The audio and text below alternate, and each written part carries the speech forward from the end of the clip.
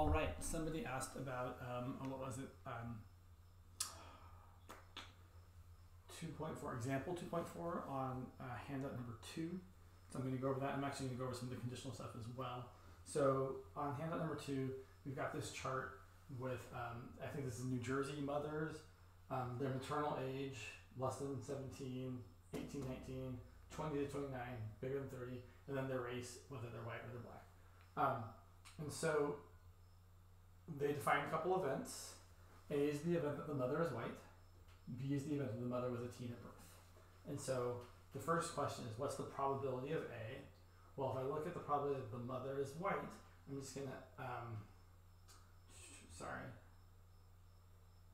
I'm to add up all these probabilities, which is, and we usually use decimals. So it's to be 0.02 plus 0.03 plus 0.41 plus 0.33.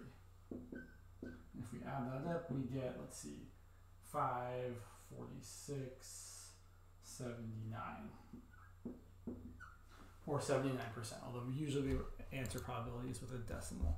And I'm just double checking that my answer looks like his answer, but I believe it does. Um, yeah, totally. The probability of B, the mother was a teen at birth, well, so we have to capture all the teens, so that's everything in this box, this box, this box, and this box. Sorry, to change my video back, apologies. And so that's going to be 0.02 plus 0.02 plus 0.03 plus 0.02.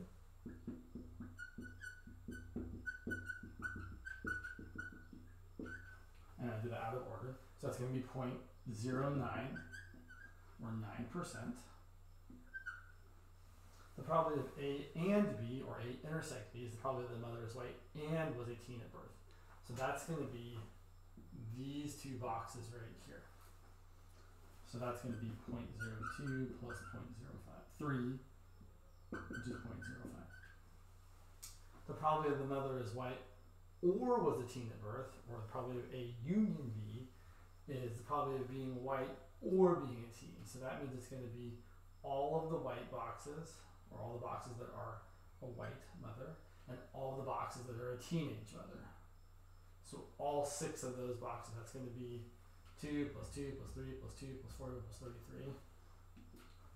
Or you could just say it's 100% minus this 17%, which will be 0.83. Or, but we could also do it, right? 0.02 plus 0.02, this pen is squeaky, plus 0.03 plus 0.02 plus 0.41 plus 0.33. And that definitely is, let's see, 74, 76, 78, 80, 83, 0.83. Just as an aside, one way you could calculate this, which is worth knowing, is with using the inclusion exclusion theorem, where you say, okay, well the inner the union is all of the A stuff plus all of the B stuff minus the intersection because that got double counted. So I could say, oh look at this. The probability of A union B is the probability of A plus the probability of B minus the probability of A intersect B. Which makes sense. If I do A, that's going to count all of this. If I do B, it's going to count this and this, and these two are getting double counted. So then we subtract off the intersection, which is exactly these two. And that's going to be probability of A, 0.79, plus probability of B, which is 0.09, minus the probability of A intersect B, which is 0.05. And that's exactly 88 minus 5, which is 0.83. Same thing. Now, a couple other things we can't answer. We can go to the other side, but we'll have to flip back and forth. We can also ask, what's the probability that of A given B? That is the probability that A is white, given that they're teenager. So the probability that mother is white, given they were a teen. And again, let's look at, I'm gonna look at his answers too, just to make sure I'm doing things the way he's doing them. Pretty sure I am, but it's always good to double check. Um, oh, so he actually did the opposite of that. That's fine. We'll do both. So probably the mother is white, given that they were a teen, is the probability that they were white and gave birth, or sorry, and were a teen, that they were that they they were white woman giving birth and they were a teenager giving birth, divided by the probability of being a teen. So we already know the probability of A intersect B is. It's 0.05. And the probability of B, the probability of the mother was a teen at birth, well, we already know that too. It's 0.09. 5 divided by 9 is how I would reduce this, and that's 0.55 continuous. So the probability of the mother is white, given that they were a teen, is 55% continuous, which is a lot higher. Is it well? A lot higher. It's a lot higher than the probability of the mother being white and a teen, which is just five percent. So they're really kind of different things that we're expressing here. If you know someone's a teenager, the probability that they're white, well, five out of the total nine percent are white. Four percent out of the total nine percent are black. So it makes sense. Oh yeah, there's a really high portion of white versus black because we are talking about just these categories here. To look at the reverse conditional probability, the probability of B given A, that is the probability that the mother is a teenager given that they were white.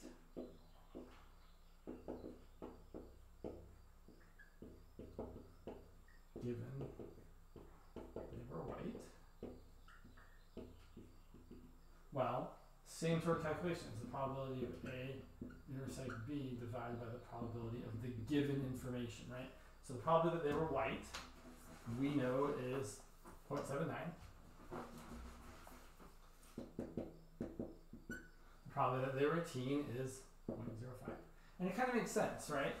We're looking at, now we're saying, oh, it's given that they're white. So we're looking at this whole column here. We're saying, okay, given that we're in here, well, 79% of the people that we surveyed are in here. What percent of those people are white? Well, out of the 79, 5% of them are white. So it's 5 out of 79 which I don't actually know that off the top of my head. Um, I'm going to calculate it real quick just to give a final answer. Oh, he's got it in the notes there, whatever. It's about 0.063.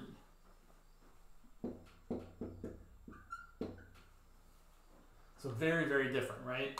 Conditional probabilities say very different things if you switch the order of them. So just be aware of that because it is something people often get confused about. All right, I'm going to end it there. Bye.